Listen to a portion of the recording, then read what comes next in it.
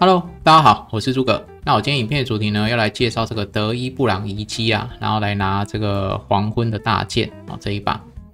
那这一把的话，个人觉得还蛮好看的啊，我会把它供奉起来，放在林克的家了啊。那我会跟你讲四个点位。首先呢，我们来到了地图的上方哦，海拉鲁大森林上方有一个遗迹。那来到遗迹之后呢，我们会有四座石碑。那你拿到四个贤者力量之后，就可以来这边了哦。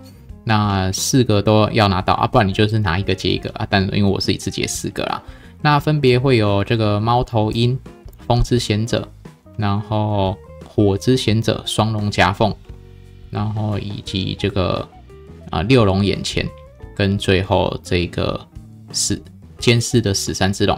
那我们由左到右好了。第一个的话是猫头鹰嘛，那你从这个石碑爬上来，这里就有猫头鹰，那我们就直接用风之贤者的力量直接飘就可以了。我们就从这边石碑爬上来，这个最简单的，然后就这样，好就会开了。这是第一个点。好，那我们逆时钟。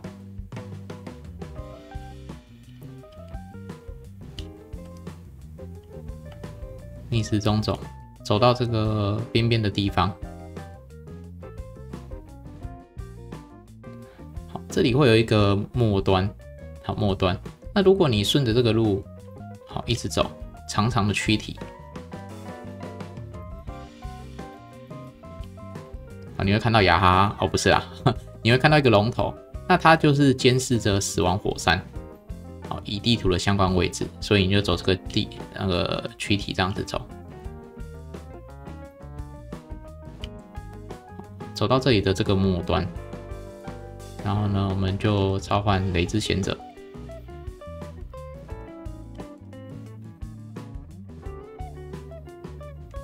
这样子这个宝箱就会开启了。那这四个宝箱的话都是宝石啊，什么黄玉啊、蓝宝啊、红宝啊，哈。你不拿来强化，也可以拿来卖钱。好，接下来的话，在鸟望台的左上方，好，大概十点钟方向吧。这里会看到沼泽处泥沼啊，六龙眼前，你就在这边。然后呢，召唤水仙，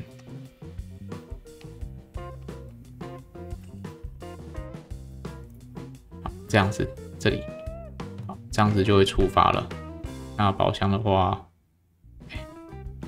宝箱在旁边吧？啊，对，宝箱在正前方，就在这个位置，我们就可以拿了。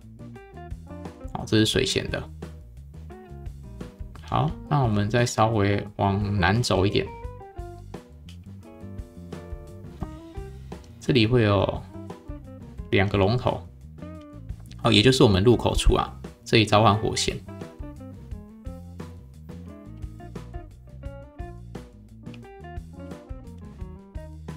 然后你的正后方这里，就会有宝箱。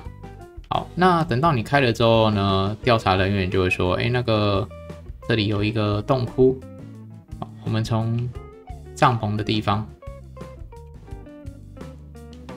往这个角落走，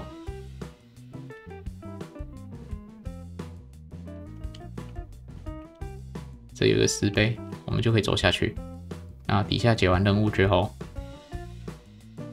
这边就是我们黄昏大剑，那这把的话攻击非常的高哦，所以你可以把它拿来使用。那我是会把它收藏起来啦。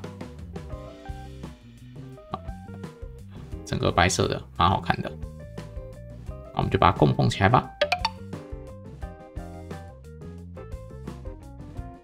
好，那我们就供奉起来了，然后拍个照，开个图鉴。